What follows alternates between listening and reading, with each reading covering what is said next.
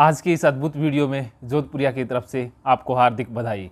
आज हम एक ऐसे विषय के ऊपर जानने जा रहे हैं, जो हमेशा से विवादित रहा है और बहुत सारे लोग उसमें सहमति भी रखते हैं। तो वो विषय है कि क्या आत्मा होती है? आपका जवाब क्या होगा कि आत्मा होती है? अगर इंडिया के अंदर बच्चे से भी पूछा जाए, क्या आत्मा होती है? तो बच्चा बच्चा जवाब देगा, आत्मा तो होती है। और कई बार हम पूछ भी लेते हैं कि आप कौन हैं? तो यही कहते हैं कि मैं आत्मा हूँ। मैं परम शांत आत्मा हूँ। हम किसी भी शब्द की गहराई तक जाएँगे कि ये आत्मा क्यों बनी और क्या वास्तव में आत्मा होती है, आत्मा होती है तो वो कैसी होती है, आज इसी को हम साइंटिफिक वैज्ञानिक तर्क के आधार पर जानेंगे। तो सबसे पहले जो हमारे सामने कुछ श्रोता हैं, उनसे जानते हैं कि क्या आत्मा होती है, उन्हीं के सवालों के जवाब के आधार पर हम आगे बढ़ेंगे। तो सबसे पहले मैं आपसे जानना चाहूँगा कि क्या आत्मा होती है? अच्छा हैं, सुन सुना है हाँ।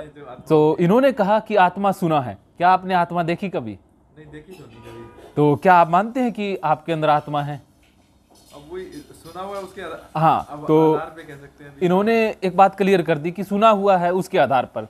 सुना हुआ ज्ञान है सबके पास आत्मा के बारे में बच्चे बच्चे ने सुन रखा है। तो इस तरह के आधार पर लगता है कि सुनी हुई बातें हैं आत्मा रियल में नहीं होती। तो अगले श्रोता से हम जानते हैं क्या आत्मा होती है? हाँ इन्होंने किसी संस्था का नाम नहीं लेंगे, क्योंकि संस्था के फॉलोवर हैं, वो आपत्ति उठाएँगे। तो किसी संस्था के द्वारा इन्होंने पढ़ा कि एक आत्मा होती है। तो क्या आपने अनुभव किया आत्मा का? हाँ तो इंडिया के अंदर या बाहर भी लोगों ने सुना होता है, माना होता है, कभी अनुभव नहीं किया होता। क्योंकि जिसने अनुभव कर लिया, वो आत्मा से दूर हो जाता है। तो रियल में हम इससे पहले अनुभव की बात करें। इससे पहले जानते हैं कि आत्मा क्यों नहीं होती। अब देखिए कि आपसे पूछते हैं कि क्या एक इंसान के अंदर एक आत्मा होती है या दो आत्मा होती है? एक आत्मा होती है। एक आत्मा होती है। हर चीज़ के अंदर एक आत्मा होती है। क्या पेड़ पौधों में आत्मा होती है?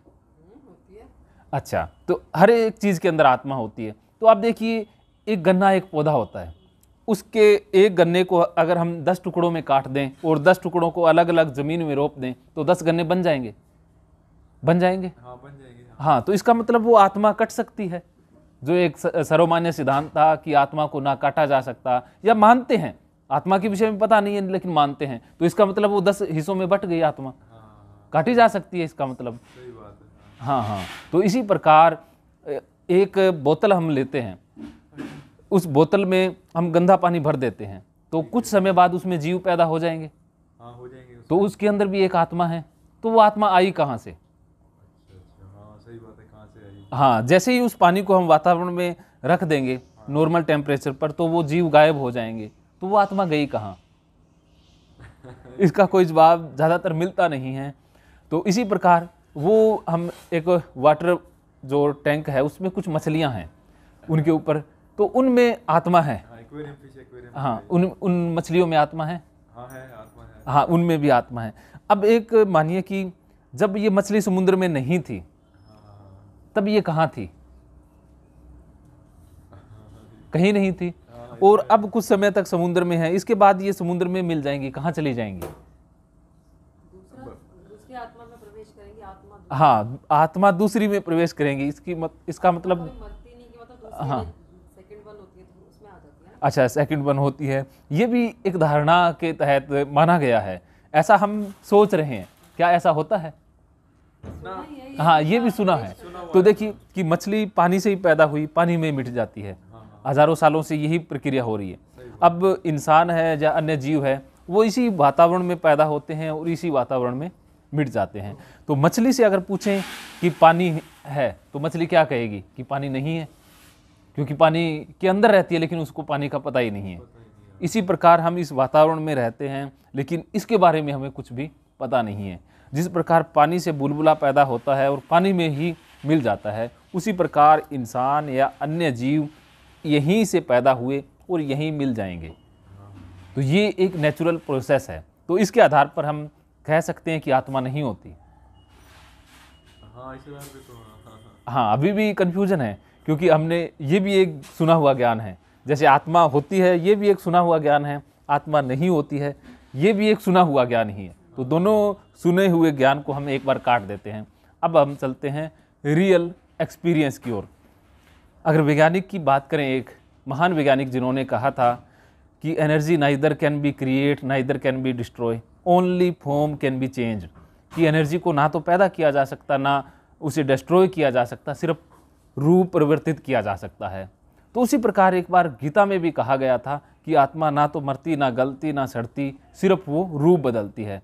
तो वो आत्मा सिर्फ़ एक शब्द था। उस शब्द को हमने किसी और रूप में ले लिया। उस आत्मा का मतलब एनर्जी से था कि एनर्जी ना तो कभी मिटती, ना मिटाई जा सकती, सिर्फ़ रूप बदलती है। तो आज हम एक एनर्जी की फॉर्म है। एक फॉर्म ही है जो दिखाई दे रही है कुछ कम्बिनेशन के कारण। कुछ कम्बिनेशन पदार्थों का मिला और ये एक फॉर्म बन गई। तो ये फॉर्म इसी वातावरण से पैदा हुई। ये एनर्जी की एक फॉर्म है। और कुछ समय बाद इसी वातावरण में ये फॉर्म डिस्ट्रॉय हो जाएगी। जैसे पानी से बुलबुला बना और पानी में ही मिल जाएगा। तो ये शरीर जो भी है, ये इसी से बना और इसी में कुछ देर में डिस्ट्रॉय हो जाएगा। तो ये एनर्जी है। तो एनर्जी का मतलब है कि एनर्जी रूप बदलती रहती है। आज ये एनर्जी किसी शरीर के रूप में है, कल को किसी पेड़ के रूप में हो सकती है, उसके बाद किसी और फॉर्म में हो सकती है। तो जो आत्मा का जो कंसेप्ट आया था, वो गीता से इस प्रकार से आया था कि वो ना मरती, ना उस, उसका जन्म होता सिर्फ़ वो रूप बदलती है। लेकिन हमारी माइथोलॉजी ने उसे किसी और रूप में पेश कर दिया, उसके अर्थ बदल गए थे। तो रियल कंसेप्ट आत्मा का यही था कि हम अपने रियल अस्तित्व को समझें कि हम एनर्जी स्वरूप हैं। हम खुद एक एनर्जी हैं और ये एनर्जी इसी वातावरण से पैदा होती है और इसी वातावरण में मिलती रहती है। पूरे ब्रह्मांड में एक एनर्जी है। उसी एनर्जी को आत्मा के समकक्ष कहा गया है। तो वो, लेकिन हमने सोशल मीडिया या लोगों की परी कथाओं के आधार पर सोच लिया कि इंसान के अंदर इंसान जैसी एक आत्मा होती है और मरने के बाद वो निकल भी जाती है और निकलने के बाद वो वातावरण में ट्रैवल भी करती है और वो स्वर्ग में भी जा सकती है, नरक में भी जा सकती है। या कुछ लोग तो यहाँ तक मानते हैं कि वो किसी की मृत्यु हो जाती है। खास करके अकारण जो मृत्यु होती है, उसी में वो कॉन्सेप्ट लागू करते हैं। कि वो भूत योनि के अंदर रहता है, उसकी उतने देर बाद उसकी गति नहीं होती, तब तक वो भटकता रहता है, उसका एक समय होता है। तो ये एक काल्पनिक बात है।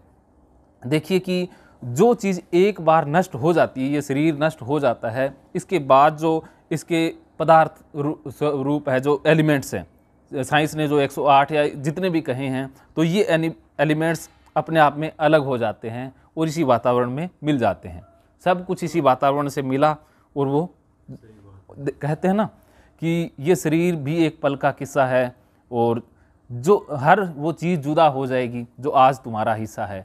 तो ये चीज़ें तो जुदा हो ही जानी है जो हमारे शरीर का हिस्सा है। तो मरने के बाद इसमें से कुछ भी नहीं निकलता है। एनर्जी जो अलग अलग तत्व है अलग अलग तत्वों में चले जाएँगे। इसके बाद इससे ना तो कोई आत्मा निकलती, ना कुछ भी नहीं निकलता। सिर्फ़ ये एनर्जी की एक फॉर्म थी जो दूसरी फॉर्म में कन्वर्ट हो जाती है, कुछ देर तक राख रहेगी। राख फिर से मिट्टी में मिल जाएगी उसी मिट्टी से फिर कुछ बन जाएगा। है। हाँ वो एनर्जी ही रूप बदलती रहती है तो ना कोई भूत होता ना कोई आत्मा होती। तो ये सिर्फ़ डराने के लिए कंसेप्ट चला था कि अब देखिए इंसान डर के मनोविज्ञान के आधार पर काम करता है। जिस इंसान इंसान इंसानी दिमाग बहुत क्रिएटिव होता है। क्रिएटिव के साथ साथ ये विनाशक तौर पर भी काम करता है। अब जिस किसी प्रिय की डेथ हो जाती है ज़्यादातर जो बुज़ुर्ग डेथ कर जाते हैं, उनकी आत्मा या उनकी नहीं मानते, उनको पितृजोनी या उनमें शामिल कर देते हैं, श्राद्ध वगैरह चढ़ाते रहते हैं। लेकिन जो जवान था और एक परिवार का सहारा था, अगर उसकी अकारण मौत हो जाती है तो उसे हम पीर या पितर का दर्जा देते हैं। मतलब यही है कि इंसान कई बार किसी की मृत्यु को स्वीकार कर नहीं पाता है दिल से। तो वो उसको किसी न किसी रूप में ज़िंदा रखता है। तो वो उस रूप में ज़िंदा रखते हैं, कुछ पितर के रूप में ज़िंदा रखते हैं, कुछ जो भी धारणाएँ हैं, उसी रूप में उसे ज़िंदा रखने का प्रयास किया जाता है, ताकि उसकी उस मौजूदगी को वो फील कर सकें, ताकि वो उनको एक संतावना मिल सके, मानसिक तौर पर वो अकेले ना पड़ जाएँ। अब देखिए, कोई भी परिवार का एक सहारा था, वो चला जाता है तो अब परिवार के लिए वो एक बहुत बड़े सदमे या चोट वाली बात है जिसके ऊपर पूरा परिवार निर्भर था तो वो उसकी मृत्यु को स्वीकार कर ही नहीं पाते हैं। अगर सीधा सीधा वो मान लें कि कुछ नहीं होता, जो सब कुछ तहस नहस हो गया तो कई बार मानसिक मन इतना मज़बूत नहीं होता, वो कई बार अपना संतुलन भी खो सकता है। तो इसी संतुलन को बनाए रखने के लिए ये पितर का कंसेप्ट रखा गया, ताकि उनको एक संतुष्टि मिलती रहे, उसकी मौजूदगी का आभास होता रहे, और कुछ लोग उससे बातें या जो भी है, उनसे बात करते रहें, रोज़ उसके साथ जाते रहें तो उसका वो आभास होता रहे। इसलिए ये